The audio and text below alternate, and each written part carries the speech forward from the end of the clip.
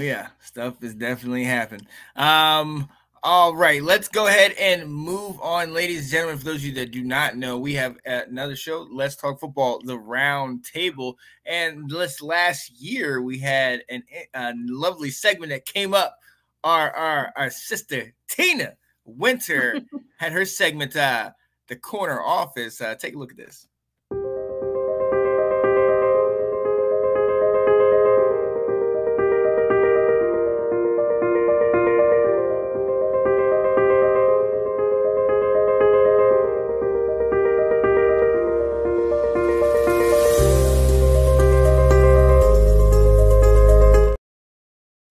So first and foremost, let me apologize. That is the old one. That's the original one I did with the old music.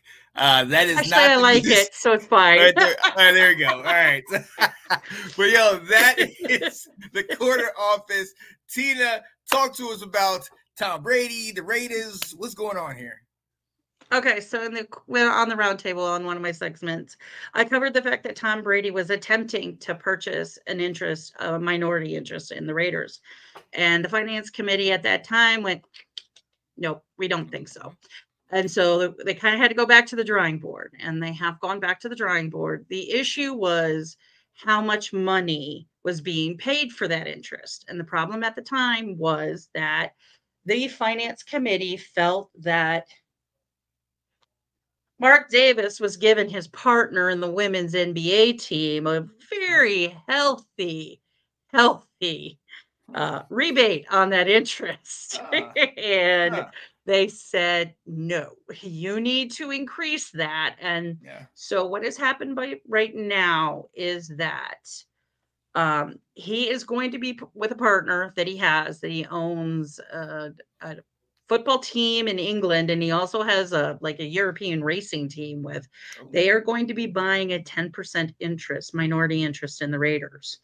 So just to give you guys numbers here so you understand what kind of money we're dealing with. I think we all know it's a lot, but I'm going to tell you the zeros.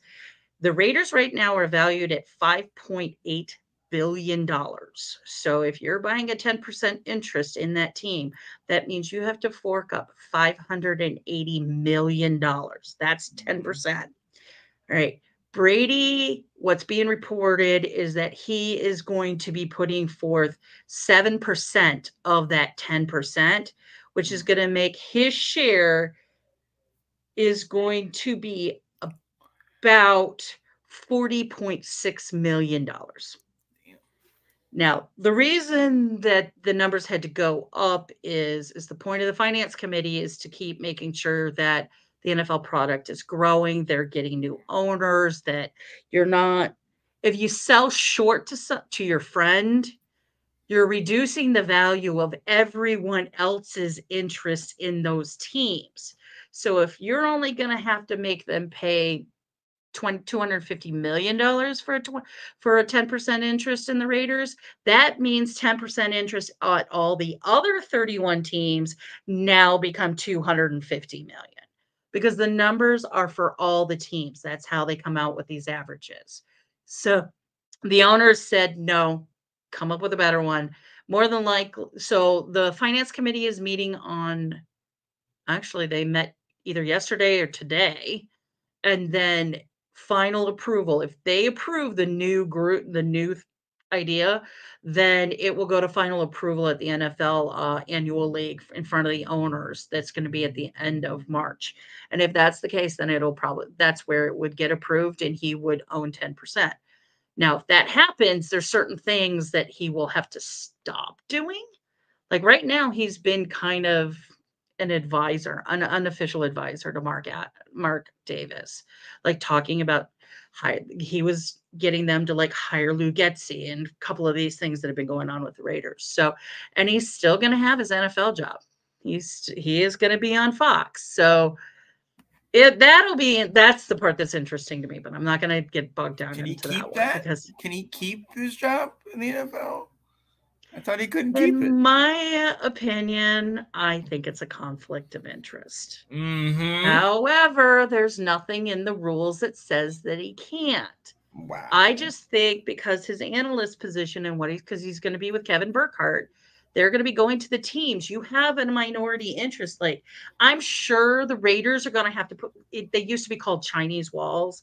They're Mhm. conflict of interest walls. Like, the stuff he learns, he can't really, he's a minority interest limited partner. He doesn't have a lot of say so in the team, anyways. It's mostly like, give me some cash so I can say I own part of the team Right. because um, Lewis Hamilton owns 10 is a minority interest it owns a minority interest in the Broncos. So that's if you you do this with money so you can come all this stuff in.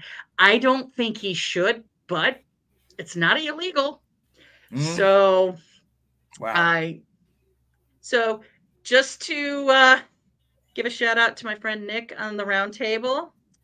I do think Vegas Tommy, and the shout outs to Nick for that nickname for Tom. Vegas Tommy is gonna own part of the Raiders and he's gonna Yeah. be thinking about the Raiders. yeah. And to this day, he's the only Super Bowl winning quarterback to do this. Oh man. Oh, wow.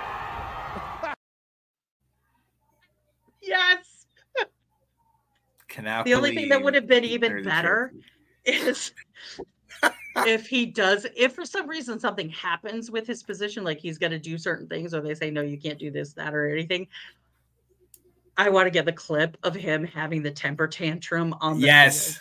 field. Just throwing the, the yeah. yes.